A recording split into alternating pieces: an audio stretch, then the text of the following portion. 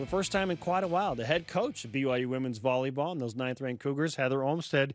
Coach, thanks for hanging out with us on game day. Thank you guys for having me. I appreciate it. This is a really cool setup for the match tonight, and I've been plugging throughout the show that it's more than just the match against Portland.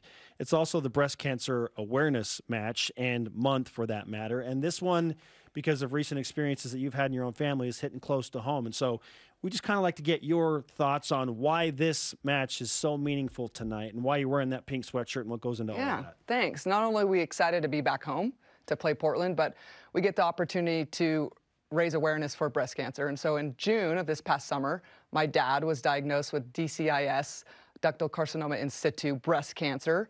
Um, and that was a surprise to all of us. So that happened in June. Uh, the next week, they got him promptly in, and he had a, a, partial mastectomy. And so while they were in there, they also took out some lymph nodes and checked uh, to make sure there was no spreading and everything looks good there. So this match does have special meaning, a little bit different meaning, and it's it's it's education for all of us to provide awareness for not only female breast cancer, which one in eight women will be diagnosed with breast cancer, but less than one percent of men, which is one in a thousand, will also be diagnosed with breast cancer, and we need to be talking about it and get that out there so people are aware of it. So this is a this is a big deal, obviously, when anyone gets cancer, but. We've known Rick for a long time as a notable guy in the community, as a former coach of Karch Kiraly and other teams, right? Yeah. Um, and and referee, and he's the dad of the winningest uh, male and female NCAA college coaches. So, how's he doing now? Yeah, he's doing awesome. He's doing great. They didn't. Uh, feel like there was any need for chemo or radiation. So he's on a, a drug, um, Tamoxifen, I think it's called, and it's an estrogen blocker because breast cancer is fed by estrogen, which men have. Um, and so he's on an estrogen blocker. He's doing well, and so he's he's excited to also spread awareness and, and talk about his story. And one of the most important things about his story is that you need to advocate for yourself, for your body, for what you're feeling. He didn't have a lump. Uh, there was no lump there, but he did have some symptoms, which was um, discharge out of his nipple, which yeah. was bloody, oh. and that's you know that's a sign that you need to go to the doctor. And so, being able to be aware of those things and and, and go fight for yourself and for your health is important, and, and that's what he did. And so, uh, early enough that he, he's feeling good, um, but we need to keep talking about it. And so tonight's an opportunity to do that for sure. I didn't know some of those numbers you mentioned, especially the 1% for men yep. and like estrogen. I don't, yeah, awareness is super important. So, what else would you advise? I guess, you know, a lot of this conversation is obviously about women, it's super important. Yep.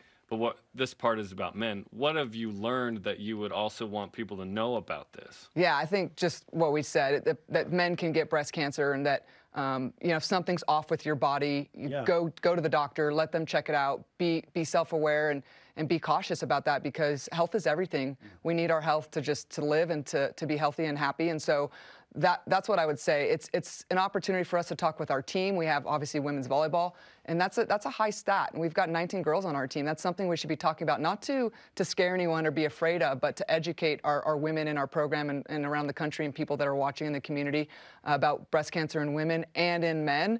And um, you know, we're blessed that my dad's doing well, and and yeah. you know, it's it's it's random. He has six daughters, and you know, so there's there's hereditary things that you've got to look at as far as now we've got to be extra cautious getting our screenings and doing those things as well, which is mm. another thing you've learned is is look at your hereditary genetics and get some testing done. And six daughters, and my dad's the one with breast cancer right now, and we're obviously very aware of it now going forward. Sure.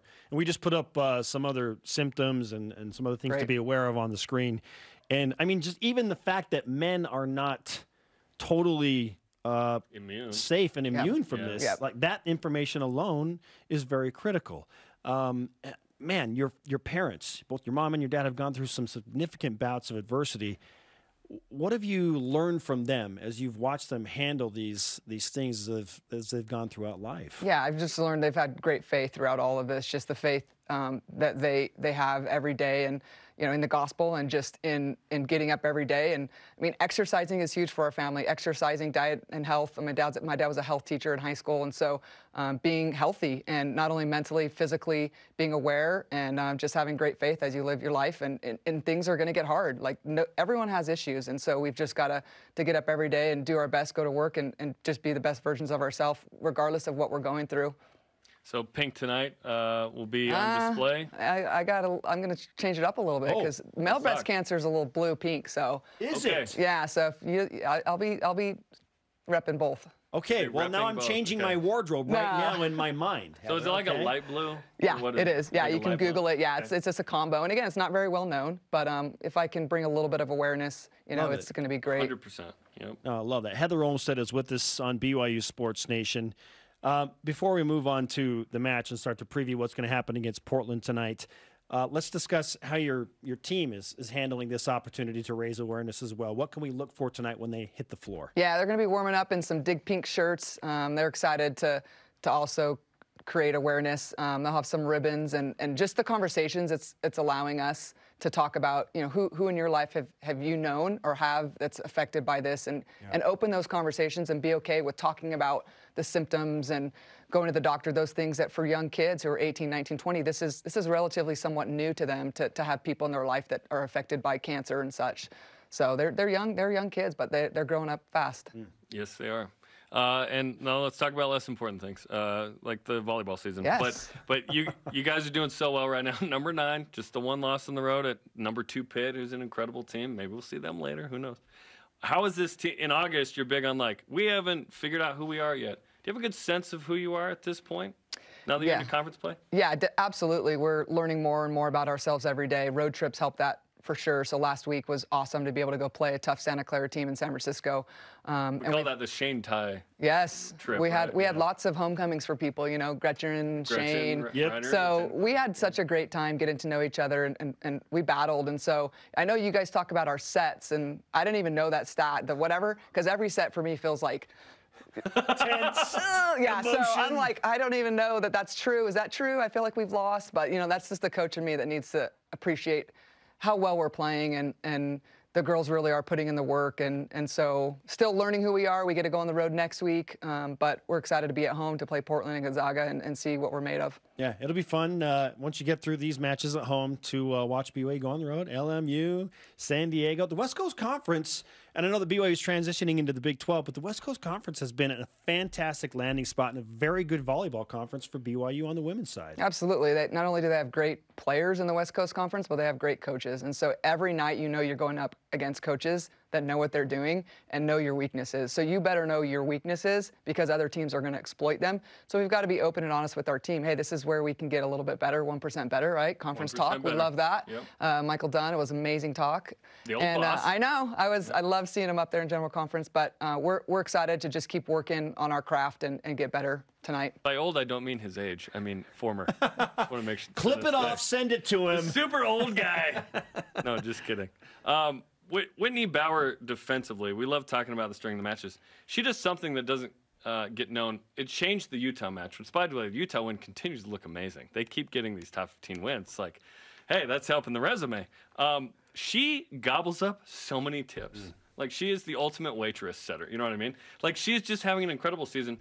Is that something you taught her? Did she come in with that skill? Have you developed that skill? Like, she's so good at that defensively. Yeah, she she puts a lot of time into developing that skill set of defense, her eye work, and being able to see the sets, being able to see the the attacker's rhythm. Are they going to tip? Are they going to hit? Are they going line? So she's put a lot of time into that. Uh, I think she's she every day spends time on it, and she's open. She's coachable. She wants to to hear feedback from us. So she's she's put the work in, and she's I think the best setter defender in the country. So I'm proud of her. That's pretty awesome. And she doesn't turn 20 until November. Like she's yeah. a teenager still. Like her maturity after reclassifying, not having a senior, has been pretty fun to watch. Yeah, she's she's definitely uh, evolving into obviously you know a great leader, and, and she's taking control and command of our offense. I mean, we're we're third in the country in hitting percentage, and that's a lot because of the way uh, not only our passers are passing, but the way she's distributing the ball, and then our attackers taking smart swings you got a roster littered with stars, and not just that. I think a theme that's developed is that they're coachable stars, and that's what makes a special group. Uh, we cannot wait to watch them tonight against Portland live on the BYU TV app. Of course, it is Breast Cancer Awareness Month. We're raising awareness for breast cancer for men and women. We appreciate you coming in to do this with us today. We're so glad that Rick's doing well. Thank you, guys. I appreciate it.